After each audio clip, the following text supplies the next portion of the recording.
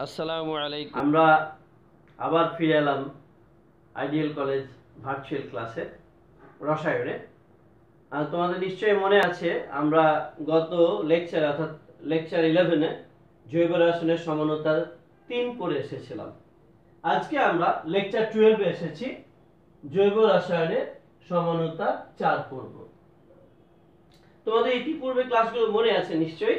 যে সমানতার আমরা যে দুটো ভাগ শিখেছিলাম, গাঠনিক সমানতা এবং স্টেরিও বা ত্রিমাত্রিক সমানতা, এর এই গাঠনিক সমানতার পাঁচটা ভাগই আমরা পড়া শেষ করেছি বিগত দুই লেকচারে। আজকে আমরা শুরু করব স্টেরিও সমানতা এবং এর ভাগগুলো। স্টেরিও সমানতা দুটো ভাগ আছে, একটা জ্যামিতিক সমানতা, একটা আলোক সক্রিয় সমানতা। আজকে আমরা যেটা পড়ব আজকের পড়াটা হচ্ছে স্টেরিও বা ত্রিমাত্রিক সমানতা কি? এ বিষয়ে আলোচনা হবে। আর জ্যামিতিক সমানতা কি? এই বিষয় দুটি আজকে আমরা পড়ব। তবে বন্ধুরা, আগামী ক্লাসে আমরা পড়ব জ্যামিতিক সমানতার শর্ত কি কি? এই জ্যামিতিক সমানতার শর্ত কি কি? It is very very important for you তোমাদের জন্য এটা অত্যন্ত গুরুত্বপূর্ণ।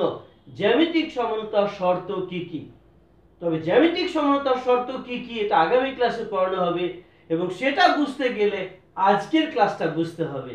এখন আমরা প্রথমেই যাচ্ছি স্টেরিও বা ত্রিমাত্রিক সমানতা কি? চল। হ্যাঁ বন্ধুরা, এখন আমরা এলাম ত্রিমাত্রিক সমানতা কি? বা স্টেরিও বা ত্রিমাত্রিক সমানতা। স্টেরিও বা ত্রিমাত্রিক সমানতা কি? এটা আলোচনা করব।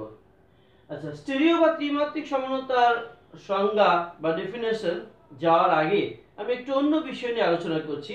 এটা এখানেই থাক, আমরা একটু অন্য বিষয়ে আসি। এসো, সেটা আলোচনা করার পর ওখানে ফিরে যাব। সি ফোর এইচ এইট একটা যৌগ। এটাকে এমনি আমরা বলব বিউটিন। তো এটার সমাণু কি কি হতে পারে একটু দেখি আমরা। এটা গাঠনিক সমাণু হতে পারে ত্রিমাত্রিক বা স্টিরিও সমাণু হতে পারে। গাঠনিক সমাণু কি হয় দেখো?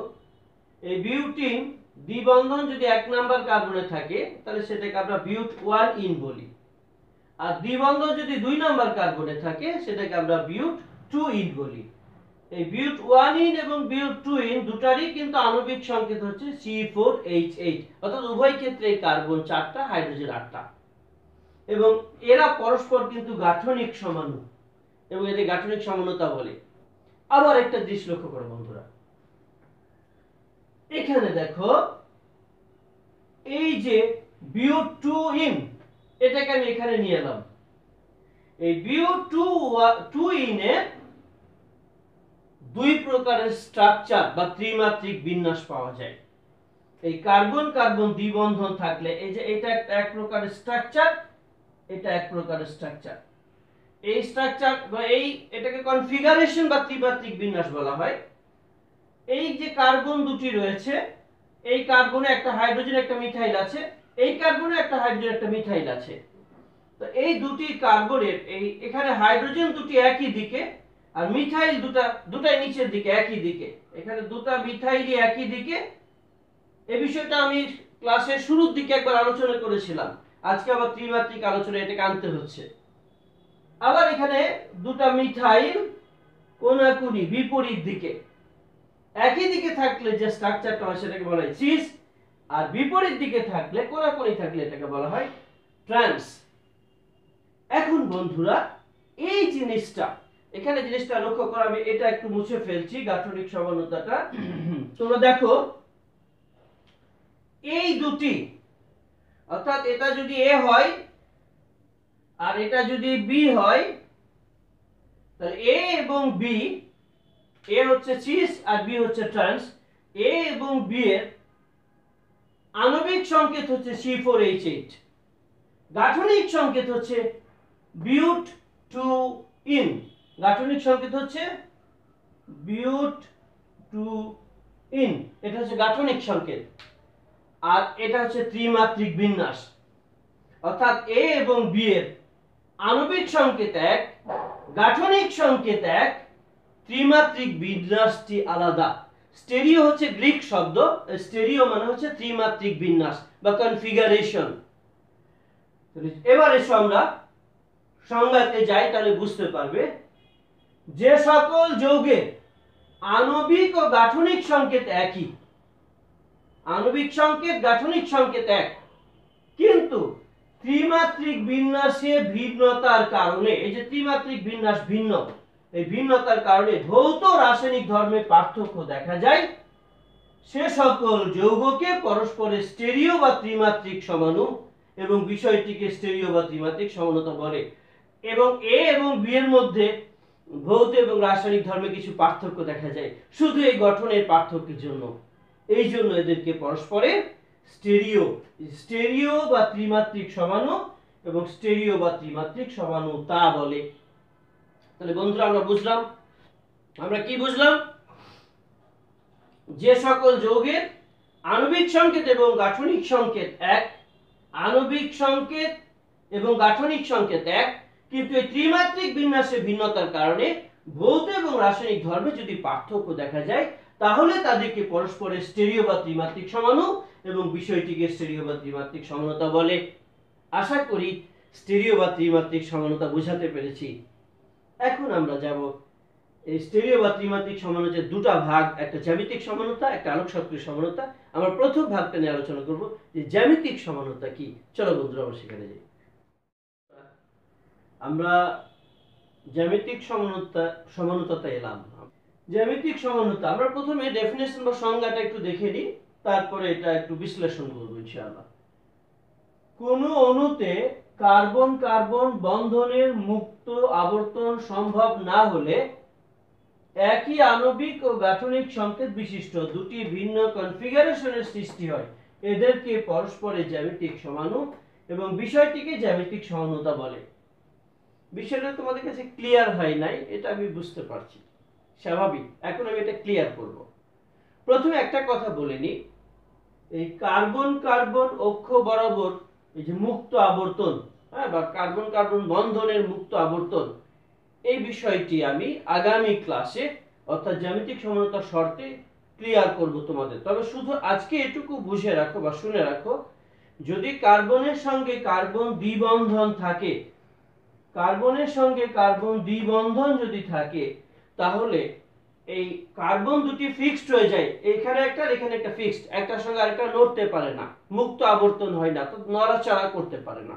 এই বিষয়টি আজকে মনে রাখো। আর এই নড়াচড়া না করতে পারার জন্য দুটা ভিন্ন কনফিগারেশন কনফিগারেশন মানে ত্রিমাত্রিক বিন্যাস। এই বিন্যাসগুলো ভিন্ন হয়ে যায়। এটা যদি ফিক্স থাকে, তাহলে এই এখানে মিথাইল, এখানে ইথাইল এই দুটো একদিকে থাকতে পারে অথবা কোনাকুনি থাকতে পারে। অর্থাৎ ভিন্ন অবস্থানে একটা সুযোগ তৈরি হয়। সেক্ষেত্রে অর্থাৎ যখনই এই ফিক্সড হয়ে যায়, মুক্ত আবর্তন হয় না, তখন কি হয়? যেমন এই যৌগের ক্ষেত্রে আমরা লক্ষ্য করি। এটা হচ্ছে C five H ten pentene pent pentene এখন পেন্টিনে যদি দু দুই নাম্বার কার্বনে দ্বিবন্ধন থাকে, যেমন এখানে এদিক থেকে দুই, এদিক থেকে তিন, কিন্তু আমরা ধরবো এদিক থেকে। দু নাম্বার কার্বনে দ্বিবন্ধনটা যদি থাকে, তাহলে এটার নাম হচ্ছে পেন্ট টু ইন এই পেন্ট টু ইনে এই দুই নাম্বার কার্বন আর তিন নাম্বার কার্বনের মধ্যে দ্বিবন্ধন আছে। এই যে দুই আর তিনের মধ্যে দ্বিবন্ধন দুই আর তিন, এটা এক, দুই, তিন, চার, পাঁচ। এক, দুই, তিন, চার, পাঁচ। যার ফলে কি হচ্ছে? এই কার্বনে দেখো একটা হাইড্রোজেন মিথাইল আছে, এই কার্বনে একটা হাইড্রোজেন একটা ইথাইল আছে। CH3 CH2 মানে C2H5 ইথাইল এই যে C2H5 তাহলে এই কার্বনে এই হাইড্রোজেন আর ইথাইল এই দুটাই, দুটা বড় গ্রুপ বিশেষ করে, এই যে মিথাইল আর ইথাইল এই কার্বনের মিথাইল আর এই কার্বনের ইথাইল যদি একই দিকে থাকে, দুটো বড় গ্রুপ তাহলে সেটাকে বলা হবে সিস সেম সাইড আর এই মিথাইল আর এই ইথাইল যদি বিপরীত দিকে অবস্থান করে, তাহলে সেটাকে বলা হবে ট্রান্স তার মানে আমরা এই পেন টু ইনের দুটো কনফিগারেশন পাচ্ছি, ত্রিমাত্রিক বিন্যাস।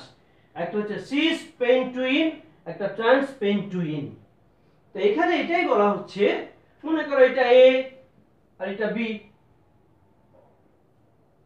তাহলে এ হচ্ছে সিস পেন টু ইন আর বি হচ্ছে trans pen two ene A এবং বি এদের আণবিক সংকেত হচ্ছে C five S ten A এবং বি এর গাঠনিক সংকেত হচ্ছে পেন্ট টু ইন এটা হচ্ছে গাঠনিক সংকেত।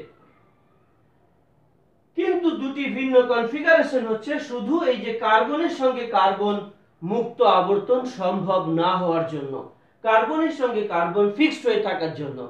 তাই এদেরকে পরস্পরের জ্যামিতিক সমাণু বা জিওমেট্রিক আইসোমারিজম বলে। আমরা সংজ্ঞাটা আরেকবার দেখে এখান থেকে বের হয়ে যাব। কোন অণুতে কার্বন কার্বন বন্ধনের আবর্তন সম্ভব না হলে যেখানে সম্ভব হয়নি। একই আণবিক, এই যে আণবিক সংকেত। ও গাঠনিক সংকেত বিশিষ্ট গাঠনিক সংকেত। উভয়েরই আণবিক সংকেত এটা, উভয়ের গাঠনিক সংকেত এটা। দুটি ভিন্ন কনফিগারেশন এই যে এ একটা কনফিগারেশন বি একটা কনফিগারেশন সৃষ্টি হয়। এদেরকে পরস্পরের জ্যামিতিক সমানু। এরা পরস্পরের জ্যামিতিক সমানু, আর বিষয়টিকে জ্যামিতিক সমাণু তা বলে। আশা করি বন্ধুরা বোঝাতে পেরেছি। এখন এই জ্যামিতিক সমানুতা কখন হবে? What's the conditions for geometric isomerism জ্যামিতিক সমানতার শর্তগুলো কি কি? এটা আমরা আগামী ক্লাসে পড়ব। এবং আগামী ক্লাসটা very very very important for you তোমাদের জন্য। এখান থেকে সিকিউ প্রশ্ন আসে। হ্যাঁ অত্যন্ত গুরুত্বপূর্ণ এবং ভর্তির পরীক্ষায় এখান থেকে প্রশ্ন হয় এই জ্যামিতিক সমানতার কন্ডিশনসের উপরে। সো এই আগামী ক্লাসটা বুঝতে গেলে আমি আগেই বলেছিলাম যে আজকের ক্লাসটাকে তোমাদের ফলো করতে হবে। এনিওয়ে আমাদের ক্লাসটা এখানেই শেষ। তবে আর দুটি ধাপ। নাম্বার ওয়ান যে গত ক্লাসের যে আমি একটা টেস্ট দিয়েছিলাম, সেটা রেজাল্ট পর্যালোচনা, আর সর্বশেষ এই ক্লাসের জন্য একটা টেস্ট দিব। বন্ধুরা, এসে আমরা প্রথম রেজাল্ট পর্যালোচনায় যাই, তারপর টেস্টে থ্যাংক ইউ হ্যাঁ বন্ধুরা, এখন আমরা আসছি এই যে লেকচার ইলেভেনের যে টেস্ট দিয়েছিলাম, তার ফলাফল পর্যালোচনা। অর্থাৎ গত ক্লাসে আমরা যে টেস্টটা দিয়েছি, তার ফলাফলটা দেখি জাস্টিফাই করি। কে কে সঠিক উত্তর দিয়েছ? এখানে এ ছিল প্রোপিন টু অল, আর বি ছিল প্রোপানন এই দুটা যৌগের প্রোপিন টু অল এবং প্রোপানন এখানে আমরা বলেছিলাম এ এবং বি পরস্পর কি? মেটামার কার্যকরী মূলক সমানো নাকি টটোমার আমি এটাও বলেছিলাম, এই তিনটার মধ্যে দুটা ঠিক আর একটা ভুল। এখন জাস্ট স্মরণ করো তো দেখি মেটামার কোন জিনিসটা? মেটামারিজম হচ্ছে একই কার্যকরী মূলকে দুটো হাত থাকলে দুদিকে এবং কার্বন সংখ্যা ভিন্ন। কিন্তু যেহেতু এখানে কার্যকরী মূলক এক নয়, এটা হচ্ছে কিটোন এটা অ্যালকোহল এবং ইন তাহলে মেটামার হচ্ছে না। নাম্বার ওয়ান এটা বাদ আর যেহেতু আণবিক সংকেত এক, দুটারই কার্যকরী মূলক ভিন্ন, তাহলে কার্যকরী মূলক সমানু এটা ঠিক এটা ঠিক। আর টটোমারিজমের ক্ষেত্রে আমরা দেখেছিলাম যে কিটোন থেকে ইন এবং অল হয়। Keto enol tautomerism. তাহলে এটাও ঠিক। অর্থাৎ দুই এবং তিন ঠিক। তাহলে সঠিক উত্তর হচ্ছে কিউ। এটা হচ্ছে সঠিক উত্তর। এবং খুশির ব্যাপার হচ্ছে এই, খুব ভালো লেগেছে। তোমাদের অধিকাংশ, প্রায় সবাই সঠিক উত্তর দিতে সফল হয়েছে। তার মানে হয় আমি তোমাদের বোঝাতে পারছি, অথবা তোমরা ভালো বুঝতে পারছ। মনে হয় দ্বিতীয়টাই ঠিক, তোমরা ভালো বুঝতে পারছ। এবং যারা দুই দিনের মধ্যে, অর্থাৎ আটচল্লিশ ঘণ্টার মধ্যে যারা উত্তর পাঠিয়েছো, শুধু তাদের নামগুলো আমি বলছি, দেখো। Chandrima A Abdullah G, Sunny J Swapnil F Sara A, Abu Jafar Ifti D Zerin A, Akinur A, Hasnat I, Fatima A, Zillur N Noor Nabi F Mitu B Yusuf K Saif F Sadia B Faisal O এবং Ibrahim J. তোমরা সবাই সঠিক উত্তর দিয়েছ তোমাদের সবাইকে ধন্যবাদ। এবং এরপরে যদি কেউ উত্তর দিয়ে থাকো হয়তো আমি দেখতে পারিনি তাদেরকেও ধন্যবাদ। এখন এসো আমি আজকে একটা ছোট্ট টেস্ট দিয়ে আজকে ক্লাসের পরিসমাপ্তি হবে ইনশাআল্লাহ। হ্যাঁ, বন্ধুরা এসো এবার আজকের টেস্টটা একটু দেখি আমরা। আমি একটা যৌগ দিয়েছি এখানে দ্বিবন্ধন আছে। এটা হাইড্রোজেন এটা ইথাইল হাইড্রোজেন ইথাইল এই যৌগটার নাম কি?